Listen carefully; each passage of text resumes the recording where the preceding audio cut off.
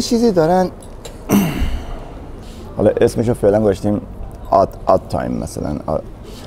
آد تایم به ریتم لنگ توی اسلنگ انگلیسی بین موزیسیان ها میگن مثلا آد تایم ریتم, ریتم, ریتم آد تایم بلش. تو این سبزی فروشی ها میفروشن. حالا بلش.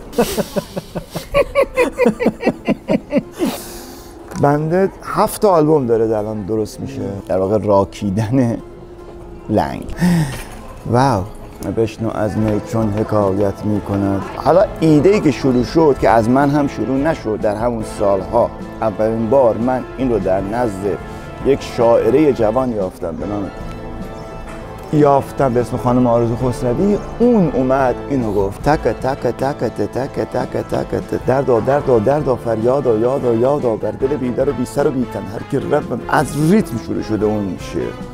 قصد شاعری نبوده که بشین یه حرف شاعرانه بزنه بعد ریتمیک باشه نه اصلا خب به نظر کار احمقانه هم میاد. احمقانه یعنی بعدا خودم این کار احمقانه رو دیگه شد یعنی الگوی من شد. مثلا کلی رفتم جلو. همه این مقدمه طولانی رو من انداخت رو مود حرف برای این گفتم که بگم این تجربه ادامه پیدا کرد کرد کرد کرد کرد تا رسید به این جسدی در انتهای دریا چرند میخندی؟ تتا جسدی دی تتا بعد می‌رسه اون تتا رو حساب بکنیم پس میشه 27 که کسی از انتهای جریان خبر نشد. و و. جسدی در انتهای دریا چرند میخندی.